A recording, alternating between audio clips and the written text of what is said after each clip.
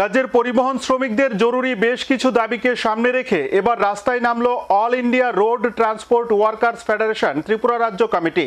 দাবি আদায়ের লক্ষ্যে এবার সংগঠন পরিবহন দপ্তরের কমিশনারের নিকট প্রদান করে গণডেপুটেশন। সংগঠনের রাজ্য কার্যালয় থেকে পরিবহন শ্রমিকদের এক মিছিল শহরের বিভিন্ন পথ পরিক্রমা করে পরিবহন ভবনের সামনে মিলিত হয়ে বিক্ষোভ প্রদর্শন করে।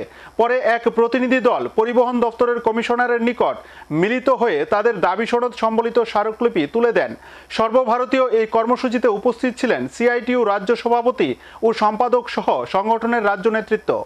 সারা দেশের সাথে এই রাজ্যের পরিবহন শ্রমিকরাও নানা সমস্যার সম্মুখীন। গোটা দেশে প্রায় দশ কোটি পরিবহন শ্রমিক রয়েছেন। বিজেপি নেতৃত্বাধীন কেন্দ্রীয় সরকারের শ্রমিক স্বার্থ বিরোধী নীতির ফলে পরিবহন শ্রমিকরা এখন দিশেহারা। যানবাহনের বীমা একশো শতাংশ বাড়িয়ে দিয়েছে সরকার। এছাড়া বেড়েছে যন্ত্রাংশের দাম। সঙ্গে রয়েছে পুলিশের নির্যাতন। এরকম একগুচ্ছ অভিযোগ এনে সর্বভারতীয় কর্মসূচির অঙ্গ হিসেবে শনিবার রাজ্য বারো দফা জরুরি দাবি আদায়ের লক্ষ্যে রাস্তায় নামল পরিবহন শ্রমিকরা। সিআইটিইউ অনুমোদিত All India Road Transport Workers Federation Tripura রাজ্য কমিটির উদ্যোগে এদিন পরিবহন দফতরের কমিশনারের নিকট প্রদান করা হল গণডেপুটেশন। আগরতলা অফিস স্থিত সিআইটিউ রাজ্য কার্যালয় থেকে পরিবহন শ্রমিকদের এক মিছিল শহরের বিভিন্ন পথ পরিক্রমা করে পরিবহন ভবনের সামনে গিয়ে মিলিত হয়। সেখানে তারা প্রথমে দাবিগুলো আদায়ের লক্ষ্যে সংগঠিত করে প্রতিবাদ, বিক্ষোভ, কর্মসূচি, পরে এক প্রতিনিধি দল, শ্রম দপ্তরের কমিশনার সাথে মিলিত হয়ে তাদের দাবি সনদ সম্বলিত স্মারকলিপি তুলে দেয়। সর্বভারতীয় এই আন্দোলন কর্মসূচিতে এদিন উপস্থিত ছিলেন সিআইটিউ রাজ্য সভাপতি মানিক দে, রাজ্য সম্পাদক শঙ্কর প্রসাদ দত্ত এবং All India Road Transport Workers Federation Tripura রাজ্য কমিটির সম্পাদক অমল চক্রবর্তী সহ অন্যান্য নেতৃত্ব এদিনের এই কর্মসূচি প্রসঙ্গে সিআইটিউ রাজ্য সভাপতি মানিক দে বলেন, দেশের রাজ্যের বিজেপি নেতৃত্বাধীন সরকার শ্রমজীবী মানুষের বিরুদ্ধে কার্যত যুদ্ধ ঘোষণা করেছে। বিশেষ করে এই রাজ্যে চলছে একটা অরাজকতা। পরিবহন শ্রমিকরা এখন দিশেহারা। রাজ্যে বিজেপি সরকার প্রতিষ্ঠা হওয়ার পর গত পাঁচ ছয় বছরে ষাট থেকে সত্তর হাজার পরিবহন শ্রমিক বেকার হয়ে পড়েছে। কারণ অনেক গাড়ি বসে গেছে। যানবাহনে বিমা একশো গুণ বাড়িয়ে দিয়েছে সরকার। এছাড়া প্রতিদিন বাড়ছে যানবাহনের যন্ত্রাংশের দাম। সঙ্গে প্রতিদিন পাল্লা দিয়ে বাড়ছে পুলিশের নির্যাতন। এই অবস্থায় রাজ্যের পরিবহন শ্রমিকদের বেঁচে থাকায় এখন অনেকটা কষ্টসাধ্য ব্যাপার হয়ে দাঁড়িয়েছে। পরিবহন শ্রমিকদের সমস্যাগুলো সমাধানের জন্য বারবার দাবি জানিয়ে আসলেও কোনো সফল নেই। তাই ফের আরও একবার দাবি আদায়ের লক্ষ্যে রাস্তায় নামা। দাবি অনাদায়ে আন্দোলন কর্মসূচির ধারাবাহিকতা আগামী দিনেও বজায় থাকবে বলে জানান তিনি।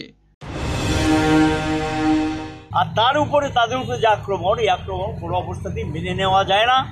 এবং এটা শ্রমজীবীদের বিরুদ্ধে বিজেপি নেতৃত্বাধীন সরকার যুদ্ধ ঘোষণা করেছে পরিবহন শিল্পটাকে আস্তে আস্তে এমন জায়গায় নিয়ে যাচ্ছে যে সাধারণ মানুষ যেমন কম পয়সায় গাড়ি পাবেন না, সাফার করবেন যাত্রীরা, পণ্য মাশুল্য বাড়ছে, পণ্যের ভাড়া বাড়ছে, যাত্রী ভাড়া বাড়ছে।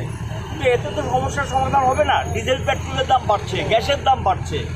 তাহলে এটার সঙ্গে পাল্লা দিয়ে গাড়ি ভাড়া বাড়ে, গাড়ি ভাড়া বাড়লে কি যাত্রী বাড়বে? মোটেই না। গাড়ি ভাড়া বাড়লে সাধারণ মানুষ উপরে চাপ পড়ে। আমরা গাড়ি ভাড়া এবং এখানে ইন্স্যুরেন্সের প্রিমিয়াম প্রায় একশো গুণ বাড়িয়ে দিয়েছি ইন্স্যুরেন্সের প্রিমিয়াম তাহলে ইন্স্যুরেন্স তো বাধ্যতামূলক ইন্স্যুরেন্স করতে হবে। তো একটা গাড়ি মালিক কী করে সে ইন্স্যুরেন্স করবে, তার টাকা কোথেকে আসবে? তারপর এই রাজ্য সরকার ট্যাক্স বসিয়েছে সেন্ট্রাল গভর্নমেন্টও বসিয়েছে, এই ট্যাক্সগুলো চলছে। এগুলি বহন করতে হচ্ছে এই গরিব পরিবহন শ্রমিকদের এবং এই পরিস্থিতিতে সঙ্গে পাল্লা দিয়ে চলছে পুলিশি নির্যাতন অসংখ্য মামলা। মামলা দিয়ে দিচ্ছে। এই মামলাগুলি কোর্টে গিয়ে তাদের দাঁড়াতে হয় এবং সেখানে কোর্টে গিয়ে হাজির হতে হয় উকিল ধরতে হয়। পয়সাটা পাবে থেকে মালিক তো সেই দায়িত্ব নিচ্ছে না। এবং সেখানে মালিকের রোজগারের জন্যই কিন্তু সে পণ্য পরিবহন করে যাত্রী পরিবহন করে। সেক্ষেত্রে সব ক্ষেত্রে মালিকটা দায়িত্ব নিতে চায় না। হ্যাঁ, এই সমস্ত সমস্যা থেকে তাদের জীবিকাটা সম্পূর্ণভাবে বিপর্যস্ত। Bureau report search India